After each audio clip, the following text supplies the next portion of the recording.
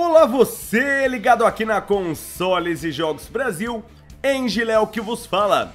E hoje vocês me acompanham no meu primeiro vídeo sobre o jogo Os Cavaleiros do Zodíaco, Alma dos Soldados.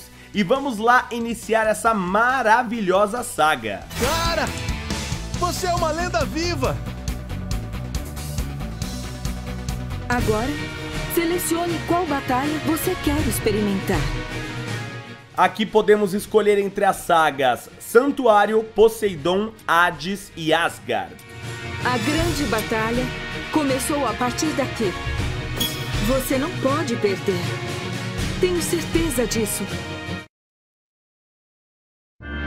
A batalha pelo santuário acaba de começar.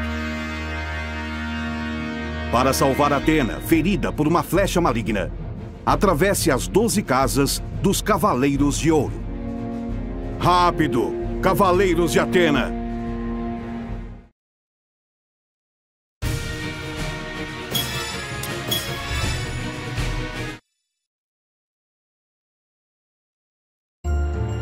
Na era mitológica, dizem que os deuses lutavam entre si para controlar a Terra. Uma vez a cada poucos séculos, a deusa da sabedoria e da guerra aparecia para proteger a paz do mundo. Era Atena. Jovens que juraram proteger Atena combateram aqueles que tentavam causar mal à Terra. Eram conhecidos como os Cavaleiros do Zodíaco. E agora Atena renasceu para se preparar para a futura Guerra Santa. O grande mestre Ares, que governou o santuário, tentou tomar a vida da pequena Atena. Mas ela foi salva pelo Cavaleiro de Ouro Aioros de Sagitário. Aioros tentou fugir do santuário carregando a jovem Atena em seus braços, mas foi acusado de traição como parte do esquema do grande mestre. Mesmo tendo fugido, Aioros foi mortalmente ferido por seus perseguidores. Ele teve de confiar todas as suas esperanças a Mitsumasa Kido, chefe da Fundação Graad. E então, 13 anos se passaram. A encarnação de Atena foi criada como Saori, neta de Mitsumasa Kido. Ao mesmo tempo, ele recrutou alguns jovens que passaram suas vidas em treinamento intenso. Eles cresceram e se tornaram cavaleiros para servir Saori. Lutaram em batalhas contra os Cavaleiros Negros e os Cavaleiros de Prata. Ao lado de Atena, os jovens invadiram o santuário. O plano era pôr um fim na ambição maligna do grande mestre de dominar o mundo. Mas assim que chegaram, eles foram surpreendidos. O Cavaleiro de Prata, Treme de Sagita, disparou uma flecha de ouro que atingiu o corpo de Saori. Lentamente ela se aproxima da morte. A flecha atingirá seu coração em 12 horas. Somente o grande mestre pode remover a flecha de seu corpo. Ele deve ser trazido antes que seja tarde demais. Depressa, nobres cavaleiros de Atena!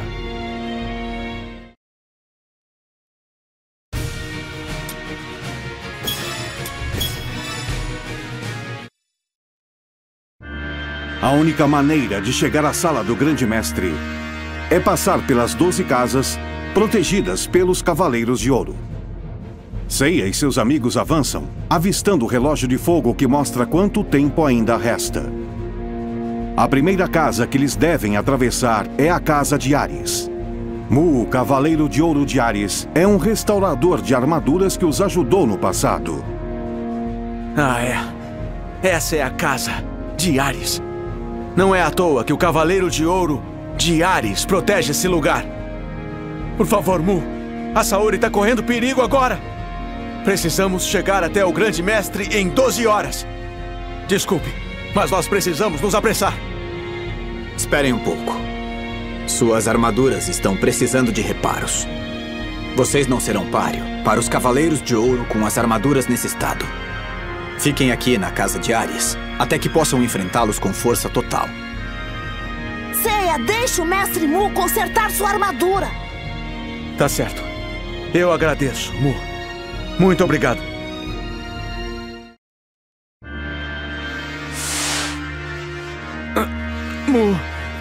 Me desculpe. Eu sinto muito. A chama de Ares apagou. Já perdemos uma hora inteira. Precisamos seguir. Eu já terminei. Kiki, eu quero ver essa armadura. Tá bom, Sr. Mu. Nossa, minha armadura está cheia de vida. É como se eu pudesse ouvi-la respirando. Agora já estamos prontos. Obrigado, Mu. Mu, Kiki, preparem-se para nos ver lutando. Tomem cuidado. Os Cavaleiros de Ouro são bem mais fortes do que vocês imaginam. Vocês se perguntam de onde vem essa força? Ela vem da essência do cosmo poderoso deles. A essência do cosmo? Sim, a forma máxima do cosmo. Algo além dos seis sentidos que todos possuem. É chamado de o sétimo sentido. Vocês devem ir agora. Lembrem-se de uma coisa: o poder de um cavaleiro não vem da sua armadura. Aprenda isso. O cosmo sempre vai decidir o destino da batalha. Quem conseguir elevar mais seu cosmo vencerá.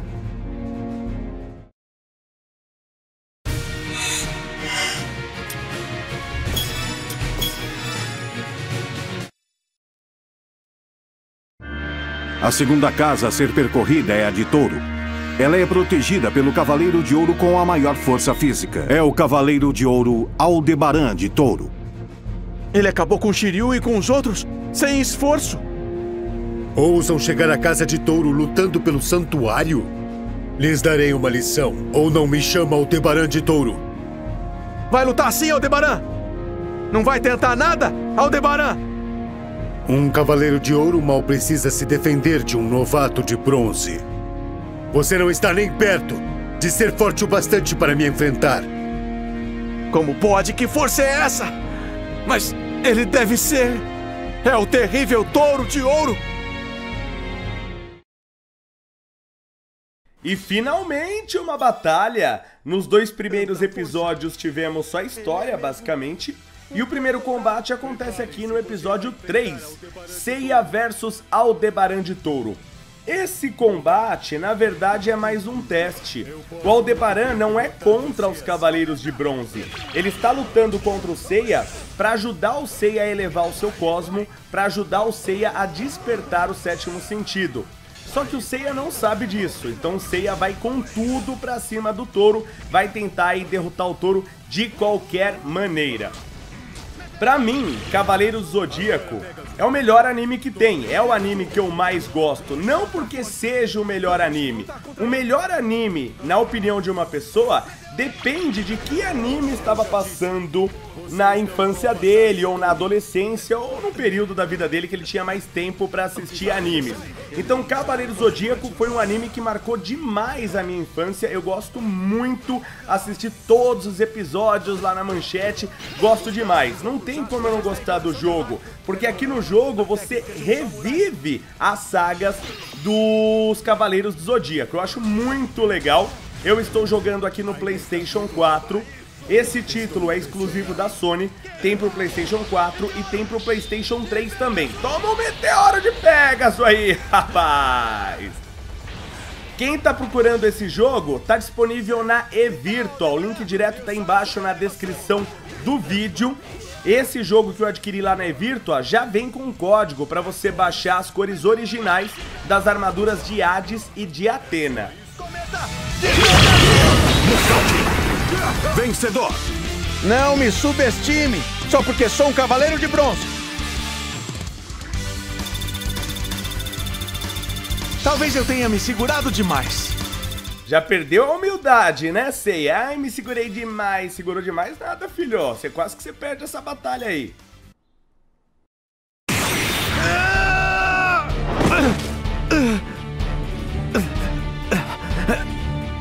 Não imaginei que os Cavaleiros de Ouro fossem tão mais fortes do que a gente. Como faço para derrotar esse Aldebaran?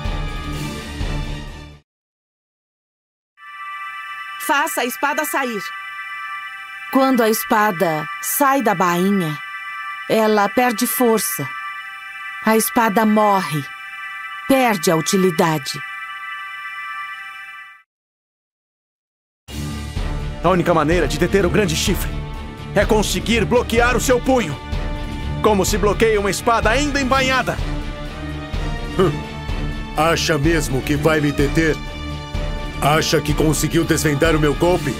Então agora, tente bloquear o meu punho. Veja como vou bloqueá-lo com o meu meteoro!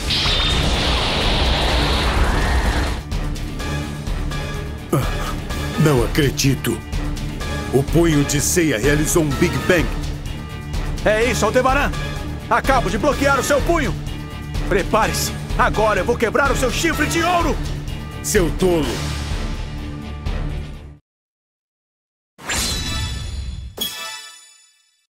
Eu vou quebrar esses chifres de ouro!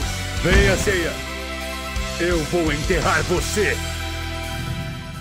E o touro não desiste fácil não. Aldebaran de Touro, que é o mais forte entre os 12 cavaleiros de ouro. O mais forte falando na força física do homem dentro da armadura. Só que a força física do homem é uma das coisas que menos importa para o poder de um cavaleiro. A coisa que mais importa, como Mu sempre diz, é o Cosmo. Quem eleva mais o seu Cosmo, vence. Depois do Cosmo, vem a técnica. Um cavaleiro com uma boa técnica leva vantagem também. Depois do Cosmo e depois da técnica, aí sim a armadura é importante. A gente dá muita importância para a armadura, e ela é importante, claro, mas é menos importante do que o Cosmo e do que a técnica. Depois do Cosmo, depois da técnica, depois da armadura, aí sim a força vai ser importante. Então se a gente tem dois cavaleiros equivalentes em Cosmo, em técnica e em armadura, aí sim a força vai fazer alguma diferença. Quebrado cada osso do meu corpo! O mundo ensinou a despertar o Cosmo máximo. Vamos! Meteoro! De Pegasus!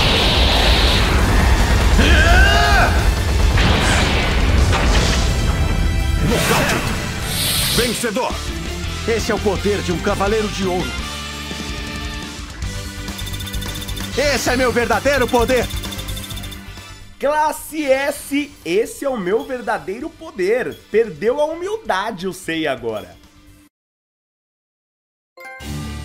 O cosmo de Seiya está se expandindo. Ele cresce enquanto Seiya é golpeado e derrubado. Não pode ser. Se continuar crescendo assim, ele pode se tornar mais poderoso do que todos os Cavaleiros de Ouro. O quê? O Cosmo de Seiya sumiu. Tá aqui, Aldebaran! Como prometi, vou pegar esse chifre!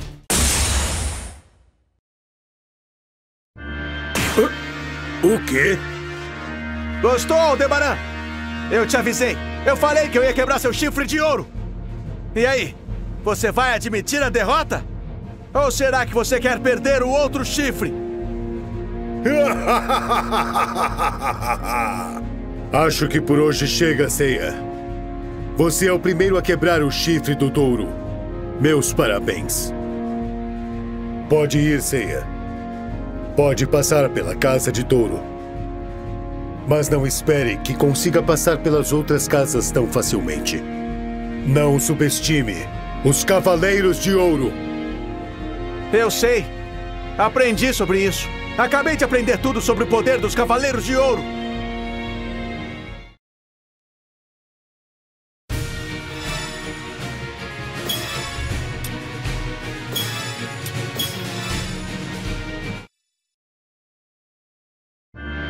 Seiya e os Cavaleiros de Bronze chegam à terceira casa do Zodíaco, a Casa de Gêmeos.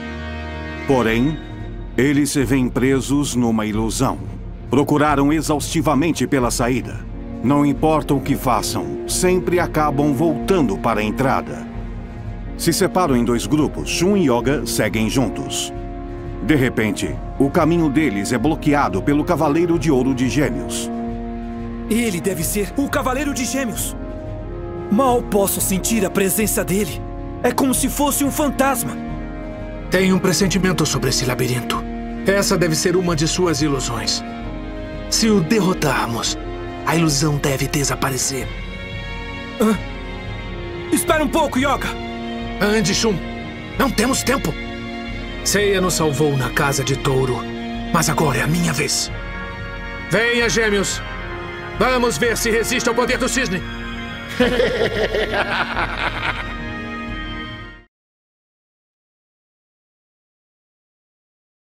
Ah, garoto! Yoga de Cisne versus Cavaleiro de Gêmeos.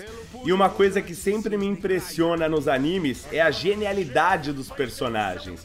O Shun entra na casa de gêmeos, encontra um cara com a armadura de gêmeos e ele fala: Nossa, esse deve ser o Cavaleiro de Gêmeos. Não, é o Cavaleiro de Sauron, é Senhor dos Anéis isso aqui. Claro que é o Cavaleiro de Gêmeos. Apesar que tem certo sentido no que o Shun falou.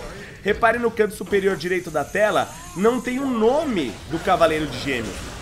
Até este momento no anime, a gente não sabe quem que é o Cavaleiro de Gêmeos.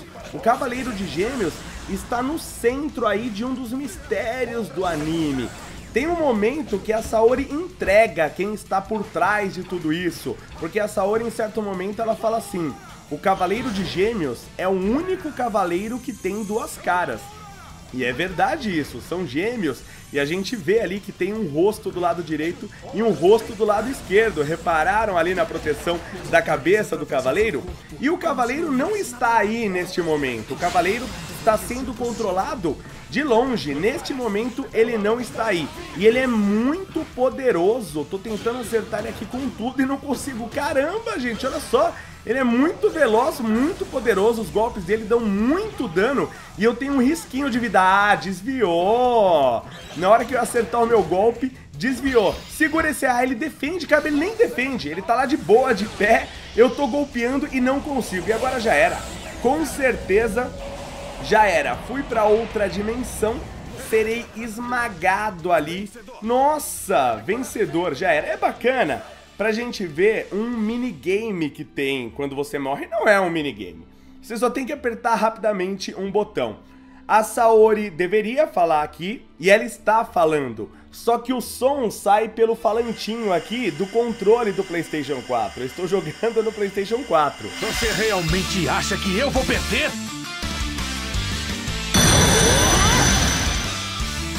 Lutem! Droga! Posso deixar que tudo termine assim? Seus tolos! Vocês não entenderam que é Poderoso esse Yoga! Eu estive na BGS esse ano, 2015, claro, e lá estava o dublador do Yoga e o dublador do Shiryu. Muito simpáticos os dois, cheguei a cumprimentar os dois. Pessoal, muito gente boa, não preciso falar que o jogo está todo dublado e legendado em português do Brasil. Temos as vozes originais do anime, isso está muito legal. Primeira vez que isso acontece num jogo Cavaleiros do Zodíaco, achei um barato, é muito mais legal, pelo menos na minha opinião, você jogar com as vozes originais. A jogabilidade está um pouco diferente do Cavaleiro Zodíaco, a saga do Santuário, que eu cheguei a jogar, mostrei para vocês, fiz vídeo, mostrei para vocês. Eu gostei muito do Cavaleiros do Zodíaco, a saga do Santuário. Depois eu peguei o Brave Soldier, joguei só um pouquinho, não cheguei a comprar, eu peguei emprestado. Joguei um pouquinho e não gostei muito. Agora esse aqui, na minha opinião, por enquanto, o melhor de todos. Por esse começo aqui, por esse pouco que eu tô jogando, eu tô gostando demais, tô achando o melhor entre todos que eu joguei até agora. Vale a pena. Para quem curte o anime Cavaleiros do Zodíaco, se você nunca assistiu, assista. Tem todos os episódios aí na internet, você acha facilmente. A história é muito legal, vale a pena. Para quem não assistiu, o jogo é bacana, mas para quem assistiu, é espetacular, porque você vai vivenciar diversas sagas. Tudo aquilo que você viu, que você acompanhou, que você se emocionou, você vai vivenciar. Você vai ser o protagonista agora. KO foi pro saco, rapá! O que acha da força congelante do cisne? Mamãe! Mamãe! Mamãe!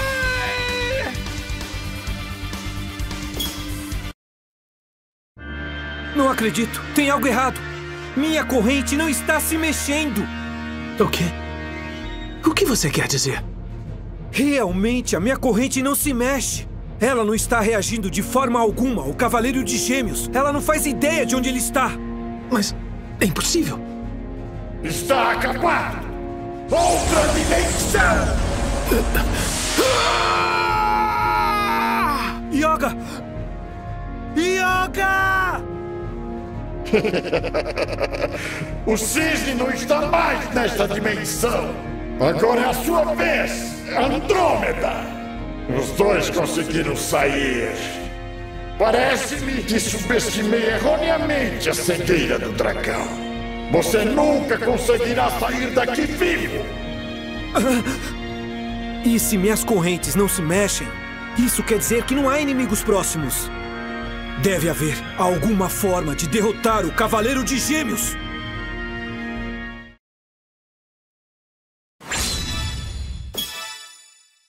Estranho. Minha corrente está confusa. Vague eternamente no labirinto de gêmeos. E agora é hora da gente testar o Shun de Andrômeda. Shun de Andrômeda, a princípio, parece um cavaleiro relativamente fraco, mas quem assistiu o anime com atenção e quem entendeu aí a lógica da sequência do que é importante para o poder de um cavaleiro, sabe que no início do anime, depois isso muda, é claro, mas no início do anime, o Shun é o cavaleiro mais poderoso entre os cavaleiros de bronze. O Shun é muito poderoso a princípio. E você que curte o trabalho do canal, já deixou o seu like aí no vídeo? Já clica aí no gostei, não espera o final do vídeo não que você esquece, já clica agora aí no gostei. Se você não está inscrito no canal, inscreva-se. Consoles e Jogos Brasil no YouTube, todo dia tem vídeo novo aqui no canal, os mais diversos jogos das mais diversas plataformas. Tem o botão inscrever-se aí embaixo do vídeo, só você clicar que você tá inscrito. Toma correntada aí, rapaz!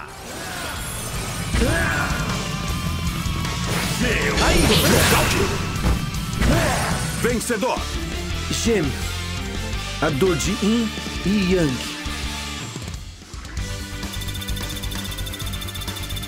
Eu acho que realmente eu sou fraco.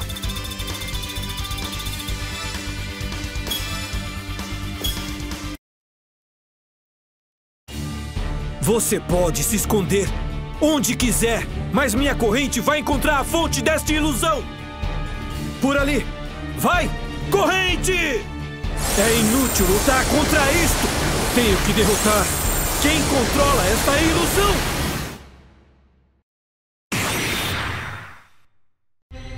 É, não! Você me atacou diretamente? De uma dimensão totalmente diferente?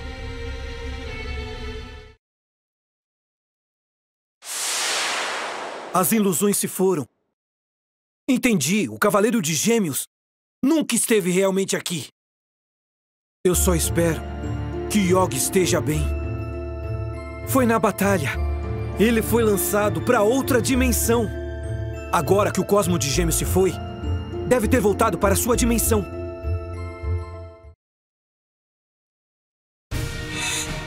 E é isso aí que eu queria mostrar pra vocês hoje. Eu espero que vocês tenham gostado desse vídeo. Se gostou, deixa o seu like. Se possível, deixa o seu comentário. Não esqueça de compartilhar esse vídeo, tem o botão compartilhar aí embaixo. Você pode compartilhar no Twitter, no Facebook, em qualquer rede social. Vou ficando por aqui, desejo um ótimo dia a todos e até o próximo vídeo. Valeu galera, até mais, fui!